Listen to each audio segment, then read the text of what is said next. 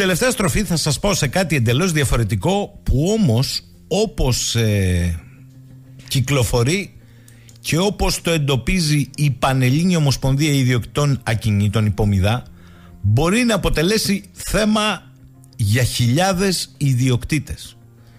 Διότι εκδόθηκε από το Υπουργείο Περιβάλλοντος και Ενέργειας η ερμηνευτική εγκύκλειος για την εφαρμογή του κανονισμού πυροπροστασίας ακινήτων εντός και πλησίων δασικών εκτάσεων. Να πω ευθύς εξ αρχής ότι αυτό το μητρό ανεξάρτητα από το τι λέει ο καθένας μπορεί να έχει τις καλύτερες των προθέσεων ε, και δεν αμφισβητείται αυτό διότι η χώρα κάθε χρόνο έχει μεγάλες πληγές από πυρκαγιές. Αλλά εδώ, διαβάζοντας κανείς την ερμηνευτική εγκύκλιο για την οποία είμαι βέβαιος ότι οι περισσότεροι δεν την έχουν πάρει χαμπάρι. Τα πράγματα πέρα από το πλήρωνε δεν είναι απλά.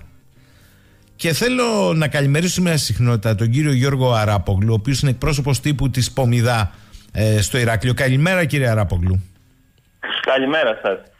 Ε, διαβάζω εδώ αυτή την εγκύκλιο. Καταρχάς, πείτε μου, ο κόσμος την ξέρει; Ε, φυσικά και δεν το γνωρίζει ο κόσμος και όλοι οι ιδιοκτήτες. Είναι μια εγκύκλειος που αν προσέξετε την ημερομηνία της δημοσίευσης είναι στις 15 Μαρτίου του 2024, δηλαδή την περασμένη Παρασκευή. Μάλιστα.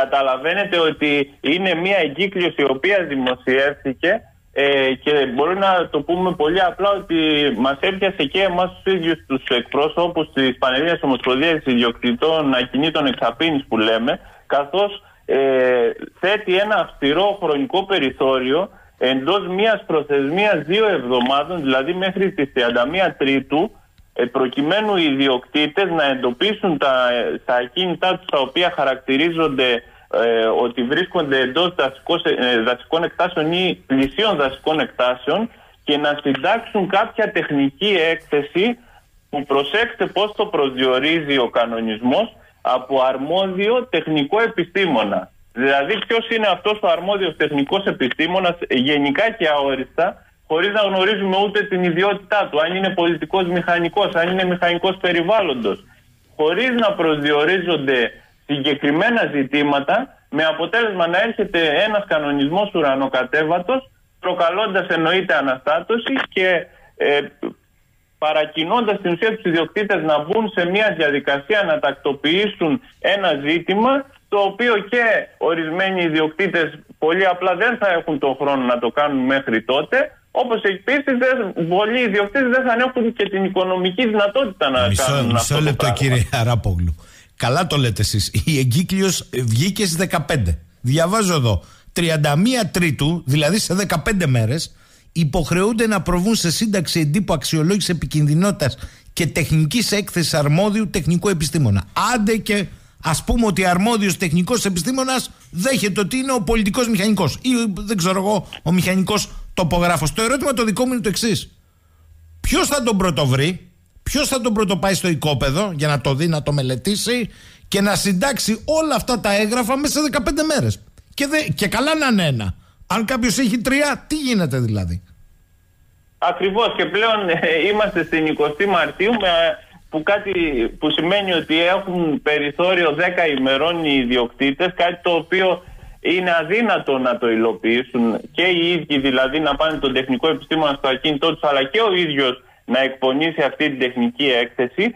Και πέραν από αυτό ε, θέτει και ο κανονισμός μία άλλη προθεσμία μέχρι 30 Απριλίου αφού συνταχθεί η τεχνική έκθεση από τον αρμόδιο τεχνικό επιστήμονα να γίνει και η δήλωση εφαρμογής των μέτρων πυρασφάλειας που να αφορούν στην ουσία το, την εφαρμογή του κανονισμού και τα αναγκαία μέτρα που πρέπει να λάβουν οι ιδιοκτήτες ε, για το ακίνητό τους εφαρμόζοντας τα μέτρα πυρασφάλειας του ακινήτου τους. Καταλαβαίνετε ότι εδώ μιλάμε για ε, προθεσμίες οι οποίες είναι ανεφάρμοστες.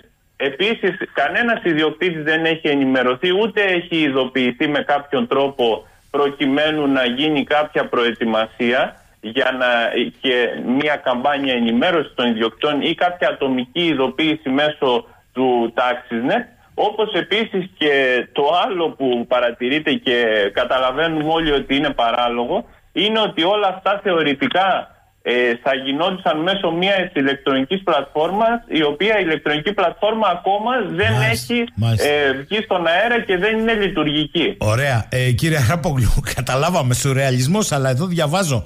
Αν μετά τον καθαρισμό του οικοπαίδου ξαναβγούν χόρτα ή αν η Επιτροπή Ελέγχου κρίνει ότι ο καθαρισμός δεν έγινε σωστά, αυτό θα εκλαμβάνεται ως υποβολή ψευδούς δήλωσης στο Μητρό ως προς την τήρηση σχετικής υποχρέωσης και θα τιμωρείται με ποινή φυλάκισης μέχρι 5 έτη από 10 μέρες με χρηματική ποινή.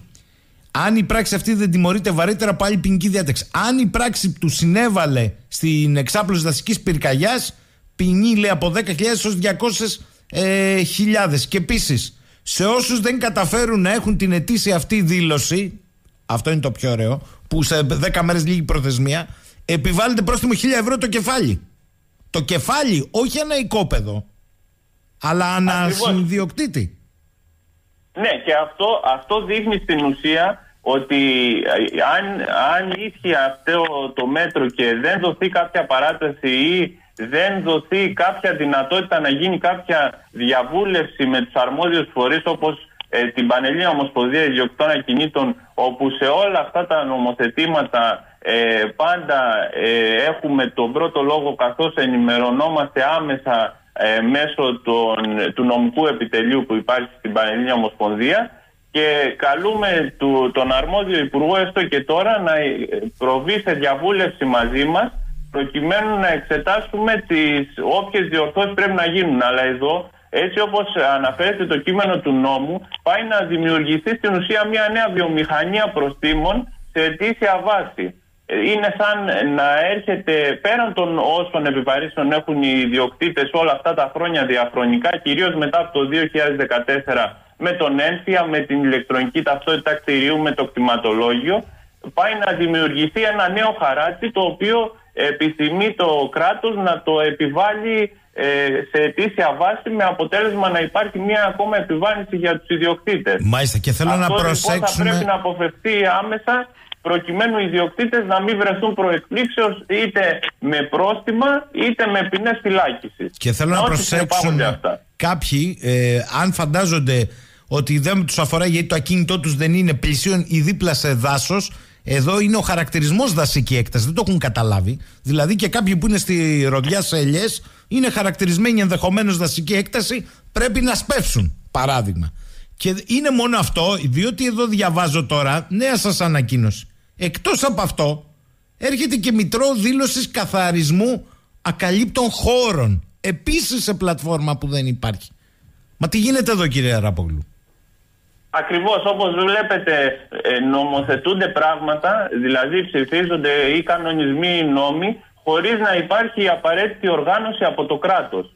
Δηλαδή εφαρμο... Ε, ψηφίζονται νόμοι δεν υπάρχει ε, η πλατφόρμα, η διαμορφωμένη ή η ενημέρωση, η προηγούμενη ενημέρωση ή συνάντηση με φορείς για να συζητηθούν θέματα με αρμόδιους φορείς και νομοθετούν είτε από το κράτος είτε από την κυβέρνηση πράγματα τα οποία είναι ανεφάρμοστα και μέσα σε πολύ σφιχτά χρονικά πλαίσια. Όπως επίσης αυτό το Εθνικό Μητρό Τήρησης με τον Πυροπροστασίας ναι. είναι στην ουσία ε, αυτό το μητρό που θα δημιουργηθεί και θα αφορά τους ιδιοκτήτες που έχουν ακίνητα εντός ε, των πόλεων ε, ακάλυπτους χώρους ή οικόπεδα που δεν έχουν οικοδομηθεί και στην ουσία έχουν τα ξερά φόρτα. Είναι αυτές οι ειδοποιήσεις που έστελνε ο Δήμος ε, όπως πολύ γνωρίζουμε σε ιδιοκτήτες οι οποίοι δεν είχαν καθαρίσει τα ακίνητά τους. Ε, και με αυτόν τον τρόπο εάν οι ιδιοκτήτες δεν έχουν προβεί στον καθαρισμό του ακινήτου τους ε, ε, θα επιβάλλονται αυστηρά πρόστιμα όπως διαβάσατε και εσείς προηγουμένως με αποτέλεσμα πολλοί για ψευδή δήλωση να κινδυνεύουν και με ποινή φυλάκης αλλά και με πρόστιμα ε, που φτάνουν μέχρι και τις 54.000 ευρώ. Ή όσοι δεν υποβάλλουν την υπεύθυνη αυτή δήλωση που οφείλουν να την υποβάλλουν κάθε χρόνο όπως προβλέπεται με ημερομηνία μέχρι το τέλος Απριλίου του κάθε έτους καθώς μία Μαΐου με τέλος Οκτωβρίου κάθε έτους είναι η αντιπυρική, η αντιπυρική περίοδος αυτό θα έχει σαν αποτέλεσμα την επιβολή προστήμων και επίσης την επιβολή ποινή, φυλα... φυλάκισης σε όσους υποβάλλουν ψευδή δήλωση. Μάλιστα. Που καταλαβαίνετε ότι εδώ μπαίνουν πολλοί παράγοντες στη μέση, όπως είναι οι ιδιοκτήτες που δεν βρίσκονται, παραδείγματος χάρη στο Ηράκλειο και βρίσκονται στο εξωτερικό, πώς θα γνωρίζουν την κατάσταση του ακινήτου, πώς θα μπορούν να το επιβλέπουν και πώς θα είναι σίγουροι ότι δεν θα πηγαίνει κάποιος τρίτος ή κακοπροαίρετος γείτονας να τους καταγγέλει και να ε, μπαίνουν σε μια διαδικασία που θα κινδυνεύουν με πρόστιμα και με ποινές φυλάκισης. Κύριε Αράπογλου, επειδή εδώ ρωτάει πολλοί κόσμος τώρα, ισχύει λύκη για ορεινά χωριά, βεβαίως και ισχύει. Έχω λέει σπίτι στην Ελλάδα τρικάλωνα, αλλά αυτό πρώτη φορά τα. Α πρόσεχες. Ε, αυτό είναι το θέμα. Αυτό λέει η Πομιδά. Δεν λέει ότι δεν πρέπει να υπάρχουν η Πανελλήνια Ομοσπονδία Ιδιοκτών Ακινήτων. Δεν λέει ότι δεν πρέπει να υπάρξει μια εφταξία, ένα σύστημα, η υπερελευαλλοντική προστασία, ο καθαρισμός και ο καθορισμός. Τα λέει, αλλά λέει εδώ μπαμ μπαμ χωρίς διαβούλευση μέσα σε 15 μέρες να πέσει το χιλιάρικο χωρίς να λειτουργούν πλατφόρμες και χωρίς να το έχει πάρει χαμπάρι ο κόσμος. Αλλά οι ημερομηνίες θα τρέχουν. Αυτό δεν λέτε. Ναι, ακριβώς και στην ουσία το σωστό είναι να γίνονται όποιες διαδικασίες γίνονται ε, με σωστό τρόπο μέσω διαβουλεύσεων, να υπάρχει ενημέρωση για τους ιδιοκτήτες Εννοείται να μπει μια τάξη όσον αφορά την προστασία του περιβάλλοντος. Ε, αυτό είναι κάτι που πρέπει να ισχύει, κάτι που ισχύει και πανευρωπαϊκά σε όλα τα προηγμένα κράτη, αλλά από την άλλη δεν μπορεί να έρχεται μια κυβέρνηση να νομοθετεί και να δημιουργεί κανονισμούς με προθεσμίες που είναι ουσιαστικά ανεφάρμοστες. Και επίσης αυτό αφορά όχι μόνο ακίνητα εντός πόλεων, αφορά και ακίνητα που βρίσκονται μέσα στον οικισμό, σε χωριά και όσα βρίσκονται μάλιστα και εκτός σχεδίου και έχουν οικοδομηθεί και αυτά θα πρέπει να λαμβάνουν τα μέτρα αυτά που απαιτούνται προκειμένου να, ε, αν τυχόν έχουν ε, ακίνητα, έχουν οικοδομηθεί εκτός σχεδίου και έχουν στον περιβάλλοντα χώρο τους ε, κάποια ξερά φόρτα ή οτιδήποτε θα πρέπει και αυτά να καθαρίζονται. Μάλιστα. Να πω και κάτι κουφό για να καταλάβει ο κόσμος ότι εδώ δεν είναι η εφταξία το θέμα αλλά πρακτικό. Λοιπόν προσέξτε τώρα. Το, η ιστορία με την προληπτική πυροπροστασία κινήτων εντός δασικών υπέρηξ αυτών εκτάσεων έχει εγκύκλιο παρακαλώ πολύ από το Υπουργείο Περιβάλλοντος και Ενέργειας. Το Μητρό Δήλωσης Καθαρισμού Ακαλύπτων χώρων είναι εγκύκλειος άλλου Υπουργείου, του Υπουργείου Κλιματικής Αλλαγής και Προστασίας. Καταλάβατε τώρα εδώ πέρα. Δύο Υπουργεία νομοθετούν για τον ίδιο σκοπό ξεχωριστά μέτρα το καθένα υποβάλλοντας όλους τους ιδιοκτήτες σε μια νέα τέλειωτη ετήσια γραφειοκρατία και με χωριστά πρόστιμα. Αυτό γίνεται εδώ πέρα. Είναι το, το ένα είναι, επαναλαμβάνω, το Υπουργείο Περιβάλλοντος και Ενέργειας για την προληπτική πυροπροστασία των ακινήτων εντός και πέριξ δασικών εκτάσεων και το άλλο είναι το Υπουργείο Κλιματικής Κρίσης και Πολιτικής Προστασίας για τη δήλωση καθαρισμού ακαλύπτων χώρων στην κοινωνία της πληροφορίας που μας έχουν ζαλίσει με ένα πάτημα του κουμπιού. Αυτά δεν θα έπρεπε να είναι ενοποιημένα.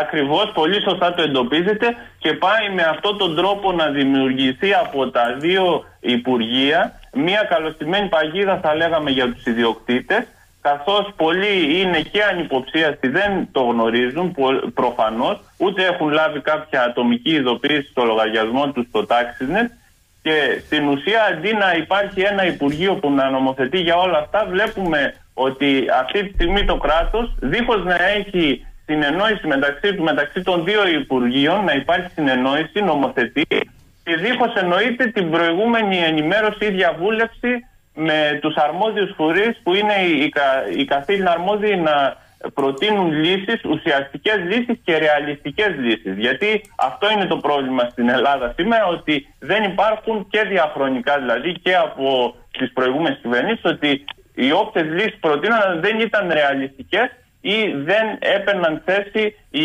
αρμόδιοι φορείς ούτως ώστε τα πράγματα που ψηφίζονται και είναι να υλοποιηθούν, να υλοποιούνται στη σωστή βάση και με γνώμονα την προστασία του περιβάλλοντος για το συγκεκριμένο ζήτημα. Όλα, όλες αυτές εννοείται οι ανακοινώσεις και το τι ισχύει για τους κανονισμούς και τις σχετικές πλατφόρμες εμείς σαν Πανελλήνια Ομοσπονδία Ιδιοκτών Ακίνητων και σαν Ένωση Ιδιοκτών Ακίνητων Νομού Ηρακλείου τις έχουμε δημοσιεύσει στο site μας στο pomida.gr και στο ενιδανή.gr. Μάλιστα. Πομιδά λοιπόν .gr, ενιδανή.gr Μου λέει εδώ ο Νίκος από το Λονδίνο Όπα λέει κύριε Αράπογλου καλημέρα Έχω χωραφάκια στη, Μεσανή, στη Μεσσηνία. Οφείλω να βγάζω τα ξερόχαρτα. Αν είναι σε δασική έκταση χαρακτηρισμένη Η πέριξ αυτής ναι Νίκο μου. Οφείλεις, τι να κάνουμε τώρα Λοιπόν, θα τα ξαναπούμε κύριε Αράπογλου, καταλάβαμε. Να είστε καλά, ευχαριστώ για τη φιλοξενία κύριε Σαχίνη. Να είστε καλά, καλά, να είστε καλά. Λοιπόν, πομιδά.gr που ρωτάτε που θα μάθετε ακριβείς πληροφορίες. Σας το είπα. Ε, το, το site για να μπορείτε να μπείτε να δείτε είναι εγκύκλοι, δεν είναι νόμοι. Είναι εγκύκλοι, μην μπερδεύεστε Νικό και είναι από δύο χωριστά υπουργεία για το ίδιο πάνω κάτω πράγμα. Ο καθαρισμός ε, του χώρου είναι από το ακάλυπτου χώρου είναι για το Υπουργείο Κλιματικής Αλλαγής Προστασίας, Κλιματικής Προστασίας και Αλλαγής και το αυτό είναι για τον ακάλυπτο και το άλλο για την προληπτική πυροπροστασία του Υπουργείου Περιβάλλοντος και Ενέργειας